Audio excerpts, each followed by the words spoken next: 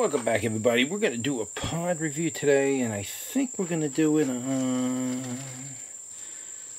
Not that one. Let's take a look out here and see what we got that might be ready. There's a bunch of them ready. We got that one over there. That's a Chinese five color.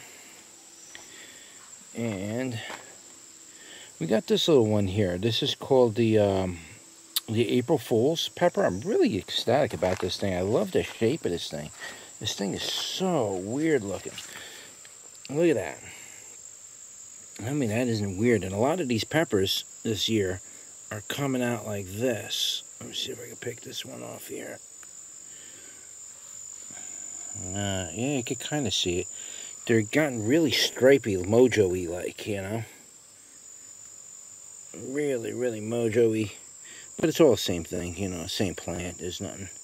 I didn't do anything special. Pick a few of these off. Yeah, we'll do a pod review on this. I'll show you one of the plants I got inside. Really love these pods on here, the shape of these things. Look at this. Hopefully you can see that. Isn't that cool looking? That's really, really creepy. It's like, uh, sort of like a, um, uh, what do you call it? Like a uh, marupai. Marupais tend to get really, really gnarled up like that, you know. But yeah, we pick a few of those. Yeah, I got another plant in here. A couple plants in some pots over here. They're just sitting here waiting it out.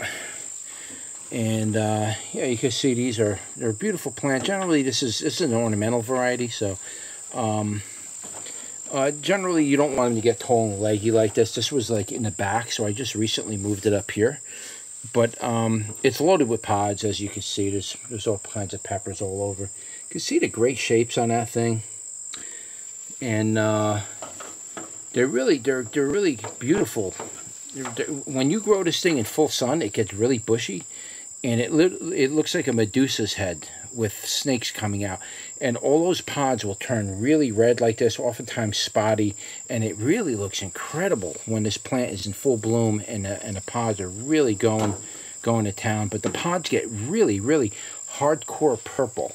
This is kind of like light purple in here because it didn't get a lot of sun. But as you can see some of the pods out here, look at how dark purple. Um, if I can find you in here. Where are you? Look how dark purple that got. Dark, dark purple. Really cool looking. So, yeah. So, anyway, guys, let's uh, turn you around and give that a go.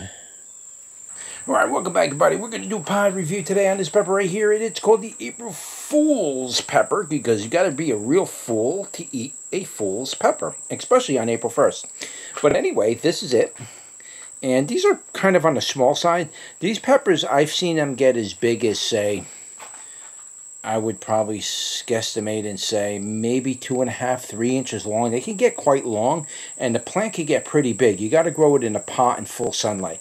This year, I didn't have the room for it. I kind of stuffed these peppers all in tight areas, and uh, I just didn't have the room for it. But next year, I'm going to grow a lot of my ornamental peppers right out in like the full sun area of my yard. I'm going to create a raised bed just specifically for these uh, ornamental varieties, which generally stay pretty short. They don't get too much bigger than say 12 inches tall, but they get really bushy and they really load up with these these little pods. So um, we'll grow that out next year and we'll set it up uh, right in the middle of the yard somewhere so we can get a raised bed full of these ornamental peppers. But anyway, that's it. So let's give that a bite and see what it tastes like.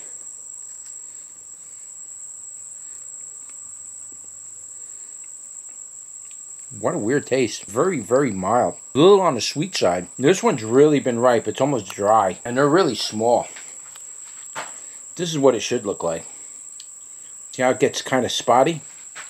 It's got a nice taste, actually, this thing. That that one was a little on the sweet side. Had like a almost a sweet, uh, sugary type uh, effect to it, so it kind of threw me off. Usually these ornamental type peppers, they're not really sweet, but this one had a little bit of sugary in it. And when we start getting into ornamental peppers, they kind of have like a weird flavor of their own as well. They kind of taste like bird peppers a little, but not 100%. They're a little bit different. Oftentimes they'll have like a fragrance to it or a, uh, an overtone or an undertone overtone meaning there's a, a, weird flavor when you first eat it, but the undertone is the aftertaste that that weird flavor may come up back then. So oftentimes these these peppers will have that. This one has like a just a weird kind of flavor to it. It's nice though. It's nice. It's not like cayenne or anything. It's it's a very nice flavor. I'm trying to think of what I can describe it as. Again, it doesn't really taste like cayenne. It tastes like a hot pepper, but not cayenne. Uh, possibly in the bird pepper family, but again, when we start talking about ornamental peppers, they really got those peppers really fall into a world of their own when it comes to flavor. They they have like a weird kind of a, a flavor to them. Yeah, you can eat them; they're fine. You're not going to die or get sick or anything. Most people will grow these varieties specifically just because of the looks of it, and it's just really weird. But you can eat them if you want to. Now, as far as the flavor goes on it, like I said, I, I, I don't know I don't know how I'm trying to place it. It's ornamental flavor. That's the only way to describe it. It had a weird flavor to it. It wasn't like anything atypical. As far as the heat goes, I would say the heat was probably was really low on that particular one. I would say the heat can probably get up near maybe 5,000 Scovilles. It may get a little hotter. That particular one wasn't hot. Take another bite off of one of these.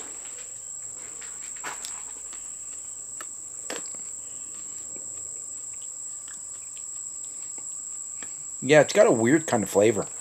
Strange. It's not bad. It's just different. This would be better for drying out, if you ask me. Uh, you can eat them fresh, but I would dry these. You dry right out in the sun as far as the heat goes, they could probably get as hot as 5,000. This particular pepper, I wouldn't put it past more than two or 300 Scoville units. It was really low. It wasn't nothing to brag about. The type of burn that it is, it's very low to, to, for me to sense what it is. But it's more or less on my lips. It's a very mild, smooth burn. It's really all it is. It's it's tingling the tonsils a little bit though. It feels good. I like that tingling effect on the tonsil. That feels good. And it's just a small, slow, mild, smooth burn, basically. And um, it's like a, a, soft, glowing burn, which is unusual for annuums, because usually annuums are either striking and hot, or they're you know they're they're not they're not usually um, slow and smooth. This is like almost like a macadam burn, but with the flavor of an annuum. It'd be a good way to describe that. A very slow, soothing type of burn. Uh, like I said, it, it, only affected the areas where I chewed it on, which is this part of my mouth. I was moving it around. A little bit on the gums, a little bit between the teeth, a little bit on the tip of the tongue, the back of the tonsils a little bit, a little warm going down. Nothing to brag about, basically. Very nice. It's a very nice variety. But I would grow that more or less for the ornamental purposes. As you can see, I'll show you again. You, as you can see, these things make some really cool looking pods. I mean, look at some of these. They look like Murupi pods. Look at that. Isn't that cool looking? And when you grow them in the full sun, they really get gnarly, big time. I mean, and you can see they they're varying color because these are probably getting ready to ripen. That's why they're kind of getting orange or tan color. They're getting ready to ripen. I like to get that plant all, you know, once that plant gets uh, most of them ripen up off of it, I'm going to cut them all off I'll probably bring that in for the winter and then we'll let it go into full flower mode and we'll get some more pods out of that. Maybe I could dry the pods out and just sell you guys the dry pods and you could grow the seeds from that. But it's a cool pepper. Give that one a go. It's one of my favorite, uh, all-time favorite um, ornamental varieties. I, I like I grow a lot of ornamentals, but that's like one of my favorite. That one's really, really weird. That one's definitely up in that place of weird. And we like, over here at HR Seeds, we like weird. So anyway, guys, I'll leave a link in the description below. If you want to pick up seeds, you can shoot over to the website and uh, check it out there. I'm not sure when we're uploading this video, but by then, I'm pretty sure we'll have seeds up for it and uh, you can read about whatever information I put on there on the website. If you have any anything you want to add to that information or you know something more about this, feel free to comment below so I get the full details of it, and I will add that to the description, and I appreciate that. Uh, and that's it, guys. So uh, if you like this video, give it a thumbs up. Don't forget to like, share, and subscribe, and I'll see you on the next one. Take care.